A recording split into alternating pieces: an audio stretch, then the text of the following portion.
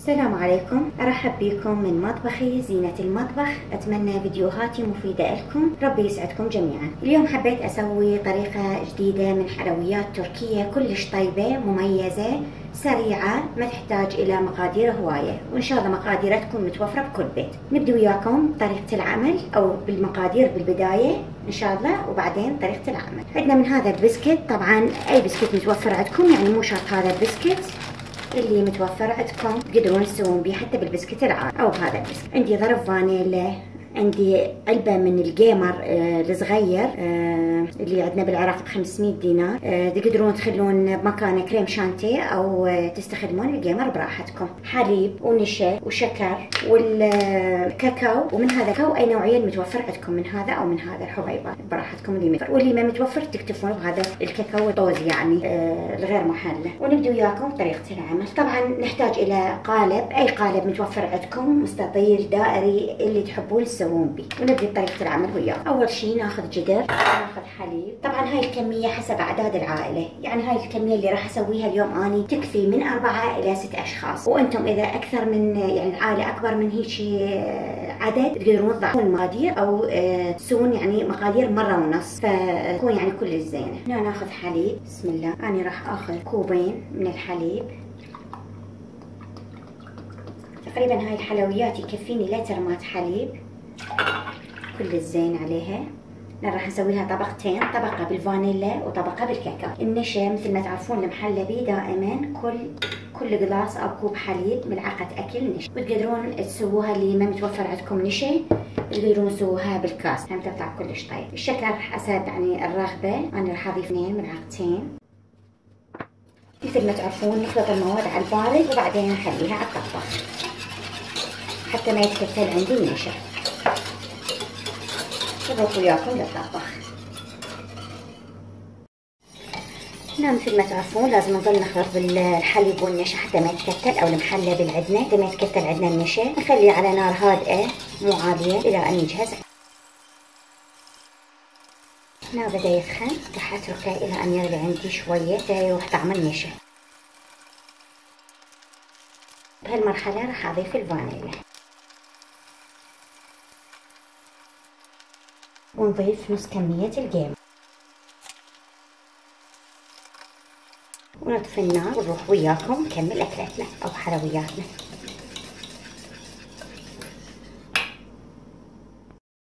هنا بعد ما كمل عندي المحلبي وصار بهالشكل طبعا ريحته يجنن وطعمه مثل البسكوت. وهذا البسكوت مثل ما قلنا حسب أعداد العائلة يعني نقدر ناخذ نص الكيس نقدر ناخذ العفو يعني هي كيسين ناخذ كيس أو كيسين نخلي شوية حليب بصحن. ناخذ شوية من المحلبي ننزل بالقالب.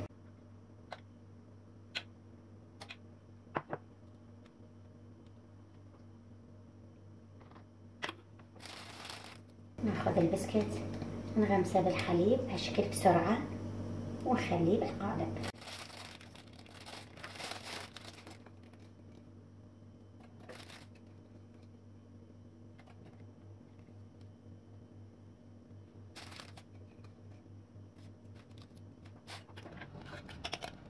نضيف باقي المحلبي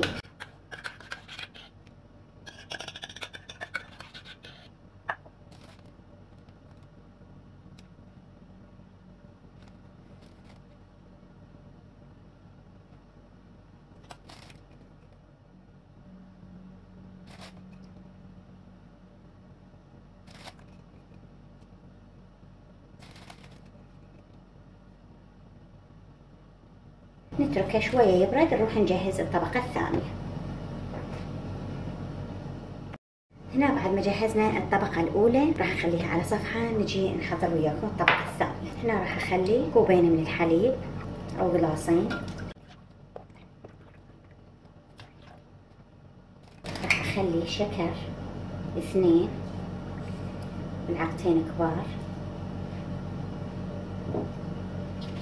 راح أخلي نشا ملعقتين بس مو معبي حيل لأن عندي الكاكاو. هم يثخن الخليط عندي. فما يكون ثخين كلش بهالشكل. الكاكاو حسب الطعم واللون اللي عندكم. إذا يكون غامق نخلي نص ملعقة إذا فاتح نخلي ملعقة كاملة. أنا ما أريده يعني كلش غامق.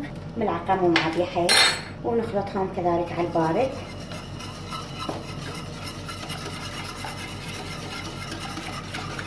لما تجهز عندي المواد راح أخليهم على النار إلى ان تسخن وأشوفكم باقي الطريقة. هنا بعد ما صار محلبي بهالشكل هذا راح نضيف باقي علبة الجيمر.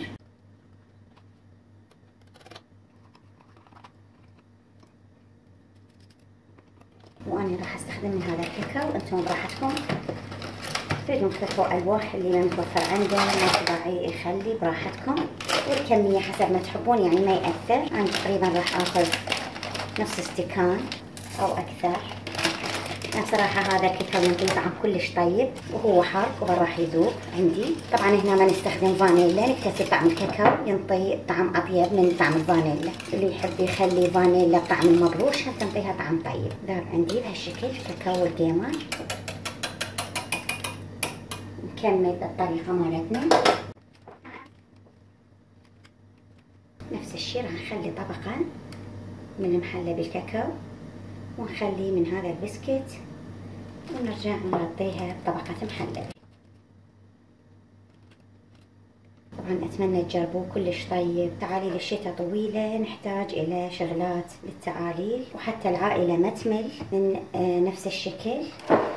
نحاول نغير لهم بالحلويات مالتنا وبالمقبلات بالأكلات مالتنا كلها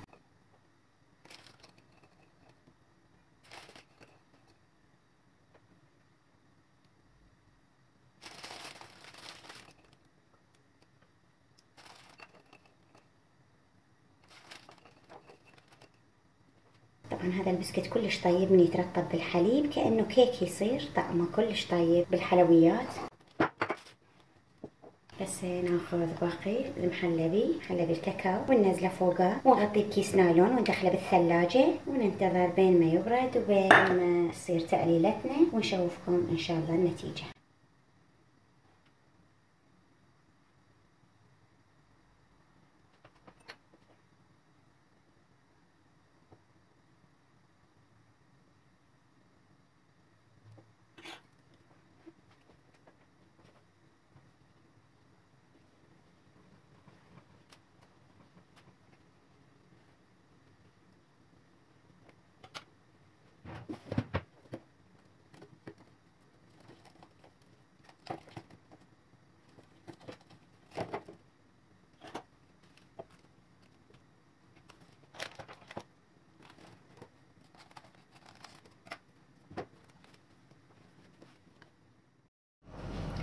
هنا بعد ما بردنا الحلويات صارت عندنا بهالشكل نرفع النايلون بأي صحن أو على قاعدة مال كيك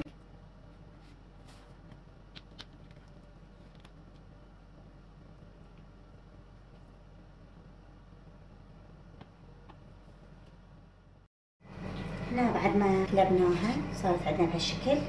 ناخذ من هاي القوالب طبعا أكثر يعني بيوت موجودة بيها. تحبون شلون تزينوها؟ تحبون تخلوها هيك بهالشكل هذا؟ أنتم براحتكم.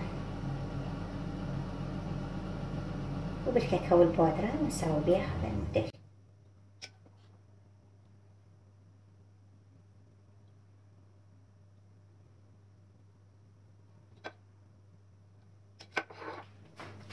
بهالشكل حلوياتنا كملت بقت نقطعها حتى تشوفون. بسم الله. طبعا أنا ما خليتها تجمد زين يعني. يعني الأفضل تتبرد أكثر من هيك.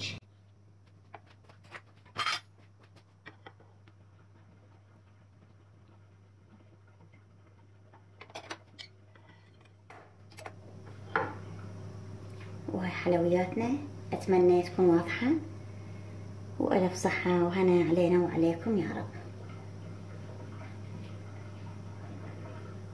طبعا الطعم خيال والمنظر كلش حلو. أتمنى اللي يشوفه ويعجبه الفيديو لينساني باللايك أكون ممنونة من عندكم. ربي يسعدكم. في أمان الله.